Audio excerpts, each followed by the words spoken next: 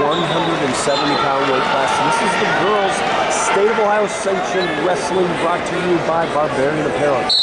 Conquered the impossible Rebekah Oladakun in the purple singlet with the red, I'm sorry, with the green, with the green ankle band. That's Oladakun. And her opponent from Loveland with the red ankle band is Elizabeth Madison Madison losing her headgear early on in this match. She is a freshman from Loveland.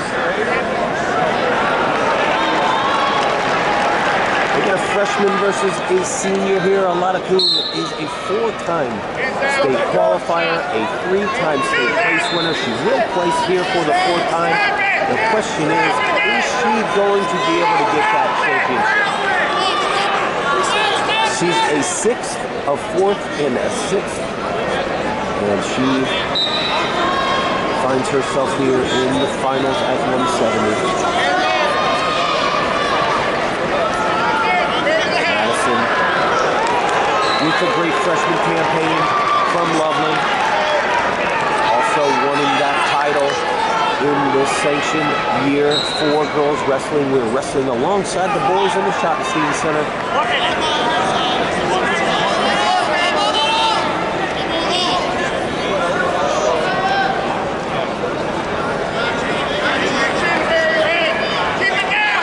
Dump by. And that's true. So Madison does convert for two. Oladakun on her back. Madison wanting a fall. There's time on the clock, 36 seconds.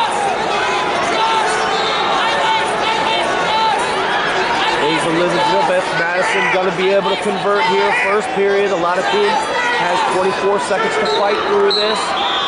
Madison wants the fall and the title, grabs it 170. The freshman from Loveland gets the pin and brings home a state championship at 170.